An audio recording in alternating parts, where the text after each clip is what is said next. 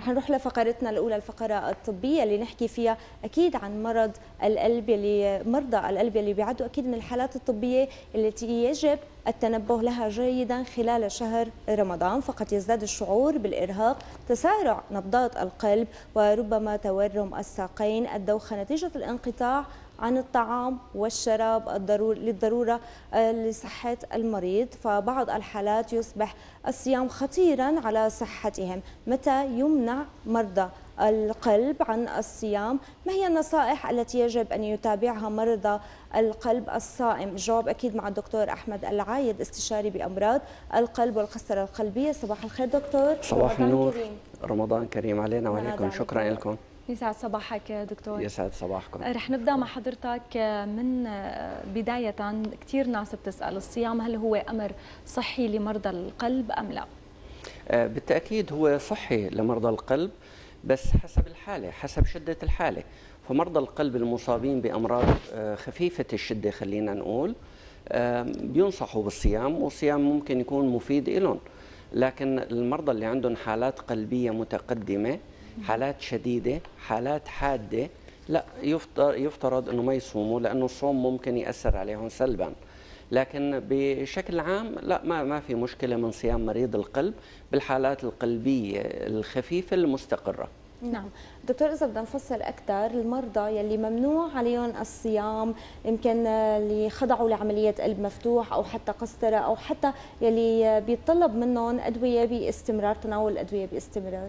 بالنسبة للأمراض الحقيقة خلينا نقول احتشاء العضلة القلبية الحاد بالفترة الأولى خلال الأسابيع الأولى ممنوع صيامهم بالتأكيد.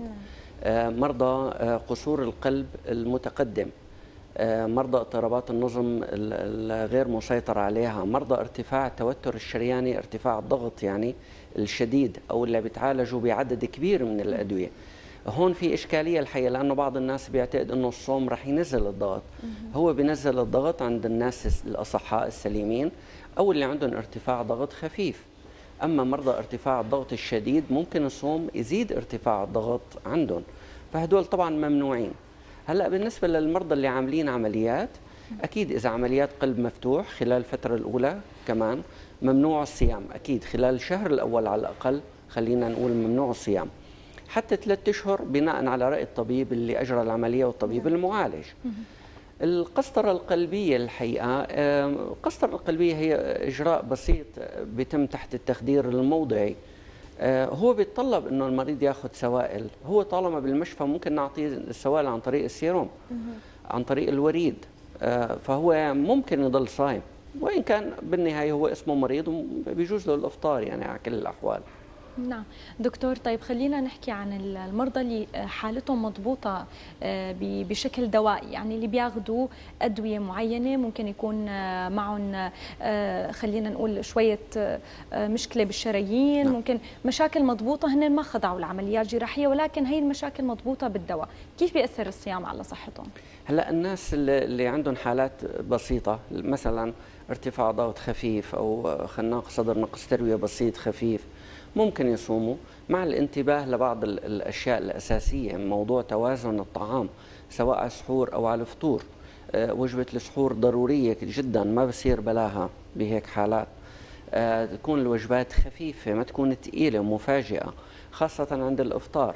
عند الإفطار المشكلة بنجي للإفطار صلنا 15 إلى 16 ساعة منقطعين عن الطعام والشراب المشكلة الأساسية هي الحقيقة التجفاف أكثر من نقص الوارد من الطعام. نقص السوائل هو الأهم هو المؤثر الأكبر. فبده طبعا يبدأ المريض أو الإنسان الصائم بتناول السوائل بداية. تناول السوائل بكميات كبيرة يتلوها أكل آه، آه، تناول الطعام رح يعمل عبء هضمي كثير كبير وقلبي وعائي كبير على الإنسان. فبننصح إنه يقسط هالكميات هي بالتدريج شوي شوي. يبدأ طبعا بالسوائل بعدين كميات قليلة وبالتدريج شوي شوي ما يتقل. يتجنب الأطعمة الكثيفة الأطعمة الدسمة ذات السعرات الحرارية العالية. يعني مثلا وجبة مقالي أو الحلويات الثقيله يفضل انه إنه ينمنع عنا المريض خلال آه، شهر رمضان. نعم. آه الكمية بدها تكون قليلة مثل ما قلنا ومقسطة على أكثر من من وقت أكثر نعم. من وجبة. نعم. يعني دكتور حكيت آه، مثل ما بيقولوا حطت إيدك على الجرح. اليوم آه، مو بس مرضى القلب كثير من الأشخاص يمكن الصائمين بينتظروا وجبة الإفطار. أصناف كثيرة بتكون من الطعام. منها الدسم كثير ومن العادي المشروبات بيكون كذا نوع. فبصير مثل نحن ما بنقول خلط بهي الأنواع كلياتها. اللي ما معه مرض يمكن رح يمرض. صحيح. اليوم شو بتنصح؟ آه، الغذاء المتوازن لكل الأشخاص لحتى يمضوا شهر رمضان الكريم بخير وصحة بدون تعرض يمكن لأي مشاكل سواء بالقلب أو حتى مشاكل ثانية اولا موضوع الحمية اللي كان عليها المريض. مرضانا عادة بنحطوا على حمية معينة من قبل طبيب حسب كل مريض وحالته. فبده يستمر فيها برمضان. البعض يعتقد إنه بياخذ إجازة من الحمية برمضان وهذا لا طبعا خطأ كثير كبير. فمريض السكري مريض الضغط مريض القلب محطوطين على حمية بدهم يستمروا بهالحميه هاي خلال شهر رمضان. هي اولا. ثانيا موضوع ال ال الاعتدال مثل ما قلنا بالاستهلاك موضوع ال ال الأدوية ياخذوها بانتظام آه، حسب طبعا كل حالة وحسب توصيات الطبيب. نعم. الحمد لله هلأ معظم الأدوية أدوية القلب أدوية الضغط حتى أدوية السكر تؤخذ مرة واحدة أو مرتين أقصى شيء.